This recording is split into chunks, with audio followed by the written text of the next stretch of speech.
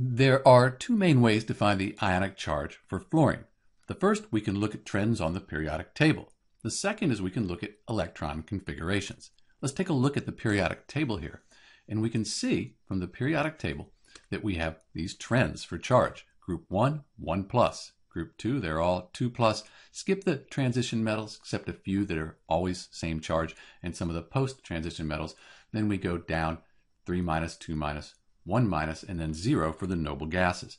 And here is fluorine right here, and it's got a 1 minus ionic charge. We normally write the minus sign after the number for ionic charge. It's just convention. So we put a minus up here. We could put 1 minus, or we could just put minus. That's the ionic charge for fluorine. To write the electron configuration, let's remember that fluorine has an atomic number of 9. That means just for F, for fluorine, it'll have nine protons, then it'll also have nine electrons. So we need to remember that.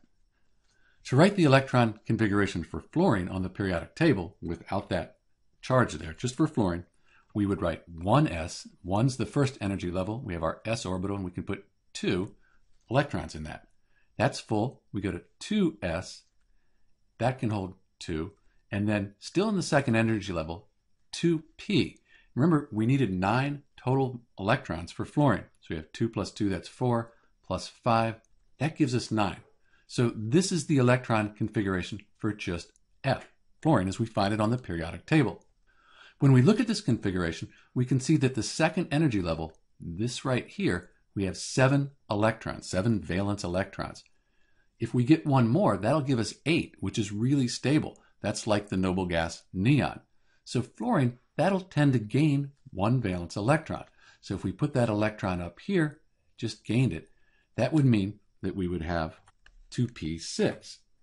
And that is the same as neon on the periodic table, very stable electron configuration. So when fluorine bonds to other things like sodium or calcium, it tends to gain an electron.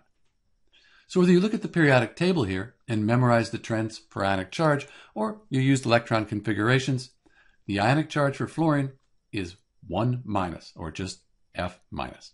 This is Dr. B, and thanks for watching.